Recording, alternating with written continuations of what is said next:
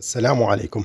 سربت مصادر مقربة من قيادات الميليشيات الحوثيين أن زعيم المتمردين عبد الملك الحوثي سيظهر اليوم الاثنين في العاصمة صنعاء لأول مرة كظهور علني على أتباعه آخر مرة ظهر فيها في دفن رفاد شقيقه حسين الحوثي في صعد عام 2012 وحسب مصادر إعلامية إن استنفار أمني وحالة طوارئ غير مسبوقة تجريها الميليشيات الحوثية في صنعاء.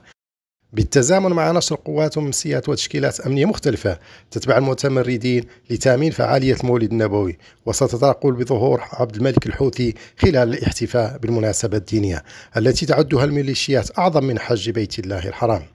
وتتداول باحتفاء منصات ومجموعات حوثية في تطبيقات ومنصات التواصل والتراسل الاجتماعي تأكيدات وتصريحات مقتضبة منسوبة لمصادر أمنية بما فيها مجموعة نشر معروفة تتبعها لجهاز الأمن الوقائي والاستخبارات الحوثية.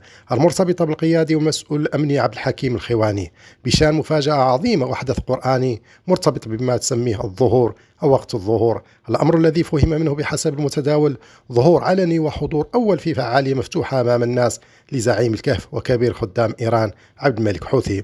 يذكر أن الحوثي عبد الملك يدير إمامته وولايته من الكهف من مكان مجهول وغير معروف ويظهر فقط عبر شاشات ويتحاشى الظهور العلني.